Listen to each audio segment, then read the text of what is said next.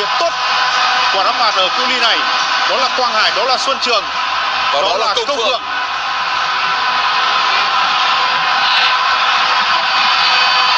Những cơn mưa tuyết màu đỏ càng đẹp hơn.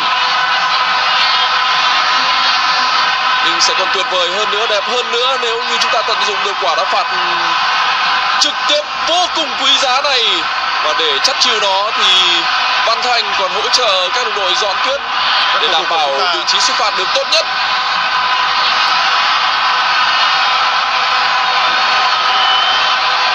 Vừa rồi các cầu thủ của chúng ta đã làm thay công việc của nhân viên dọn mặt sân hy vọng chúng ta sẽ được đền đáp với cơ hội này. Quang Hải Xuân Trường là hai cầu thủ đang đứng trước cơ hội để chúng ta có bàn thắng gỡ hòa. Có lại đá.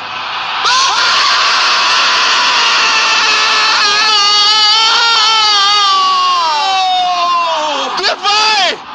Quá tuyệt vời! Một đều trong trận trà. chúng ta đã được đền đáp. Phải nói là như vậy, những nỗ lực từ đầu trận và một cơ hội mà chúng ta đã biết cách chắt chiu đã biết cách để nâng niu nó anh Dũng có thấy không? Khi chúng ta được hưởng quả đá phạt ông Park Hang Seo đã ra ký hiệu và ký hiệu rằng đó là một sự chỉ định người xuất phạt. Và đó là những cái ký hiệu mà ông và các học trò đã liên lạc với nhau rất nhiều lần. Và hãy cùng thưởng thức khoảnh khắc Quang Hải với một siêu phẩm dưới trời mưa tuyết ở Thương Châu. Và sức nóng chắc chắn đã được đẩy lên cao hơn rồi. Bàn thắng thứ năm của Quang Hải ở giải đấu năm nay.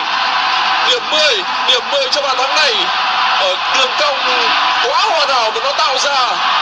Tôi nghĩ là những thủ môn giỏi nhất thế giới cũng không thể cản được cú sút này của Quang Hải. Treo bóng vào đúng góc cao và chúng ta thấy là thủ môn Uzbekistan đã bay hết cỡ điều kiện thời tiết như thế này mưa tuyết rất dày thì những quả đá phạt như vậy có giá trị chẳng khác gì một quả penalty. Nhưng tôi cho rằng ngay cả điều kiện thời tiết không bị ảnh hưởng bởi những lớp tuyết dày như vậy thì quả đá của Quang Hải vẫn có thể mang về bàn thắng vì đó là một cú đá rất khó rất hiểm một đều trong 23 Việt Nam Phút thứ 38 của trận đấu. Đội bạn có tới hai cầu thủ đã phải nhận thẻ vàng và sẽ vắng mặt ở vòng 1/8 nếu Yemen giành quyền đi tiếp. Xuân Trường, Quang Hải đều đang đứng trước quả đá phạt. Những hình ảnh gợi nhớ lại trận chung kết U23 châu Á.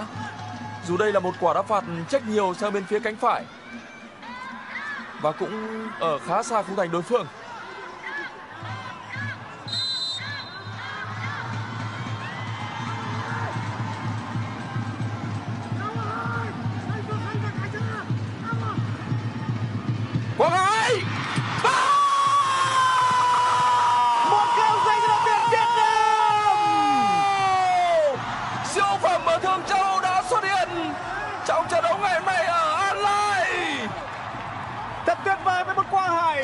Hải đúng lúc, đúng chỗ ở cột mốc 38 với một cú sút chân trái tuyệt vời làm tung lưới của Yemen. Quang Hải đã nén lại như một chiếc lò xo để bây giờ anh bung lên và tỏa sáng với một cú đá không thể cản phá làm tung lưới của Yemen. Không phải là cầu vồng trong tuyết, nhưng tác phẩm này cũng là một đường cong mỹ miều và nó xứng đáng nhận điểm 10. Một siêu phẩm của Asian Cup 2019. Vẫn là trọng tài Ahmed Al Cap vẫn là một tình huống mà công phường bị phạm lỗi, vẫn là